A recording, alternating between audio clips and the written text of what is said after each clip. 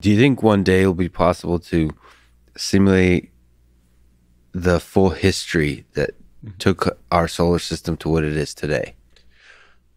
Yes, and it will be useless. Okay.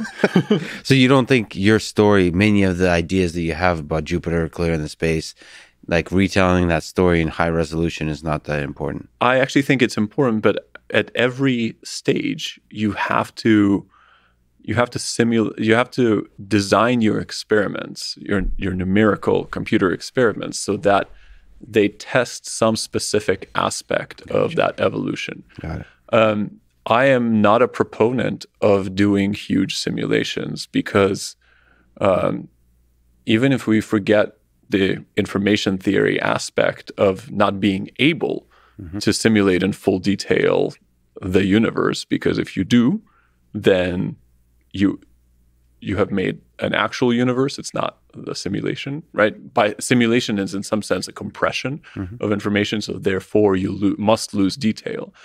But that point aside, if we are able to simulate the entire history of the solar system in excruciating detail, I mean, it'll be cool, but it's not going to be any different from observing it, right? right? Because theoretical understanding, which is what ultimately I'm interested in, um, comes from taking complex things and reducing them down to something that you know some mechanism mm-hmm. that you can actually quantify.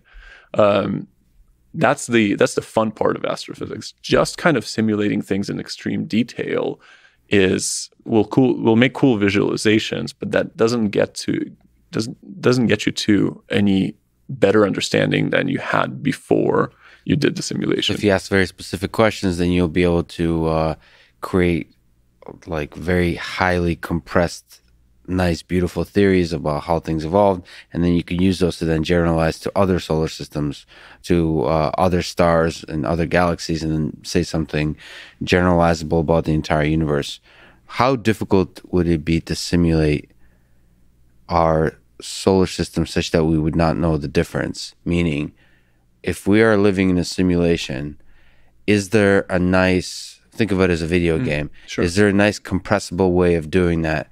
or just kind of like you intuited with a three body situation is just a giant mess that you cannot create a video game that uh, will seem realistic without actually building well, universes so, from scratch. Uh, I'm, you know, I'm speculating, but one of the, yeah, I know, I know, you, like you have a deep understanding of this, uh, but like my, for me, I, I'm, I'm just gonna like speculate that for um, at least in the types of simulations that we can do today, inevitably you run into the problem of resolution, right? You're doesn't matter what you're doing; it is discrete.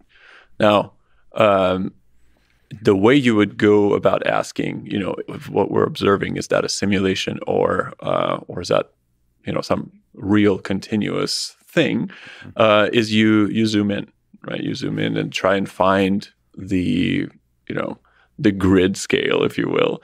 Yeah. Um, yeah, I mean, it's a it's a really interesting it's a really interesting question, and because the solar system itself and really you know the double pendulum is chaotic, right? Pendulum sitting on another pendulum moves unpredictably once you let them go. Um, you really don't need to like inject any randomness into a simulation for it to to give you stochastic and unpredictable answers. Weather is a great example of this. Weather has a Lyapunov time of you know typical weather systems have a Lyapunov time of a few days. I mean, there's a fundamental reason why the force forecast always sucks. You know, two weeks in advance. It's not that we don't know the equations that govern the atmosphere. We know them well. Their solutions are meaningless, though, after a few days. The zooming in thing is very interesting.